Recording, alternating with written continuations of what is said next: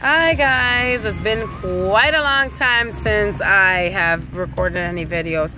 I've been very, very sick. I had surgery um, done, so I was out of commission for like two to three weeks, and then I um, got sick with a cold that I'm just getting over. So I'm just feeling a lot better now um, to actually sit and record a video.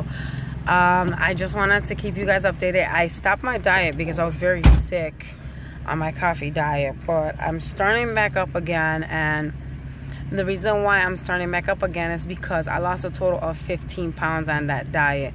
And I was pretty much only on it less than a month. I was on it for like three and a half weeks.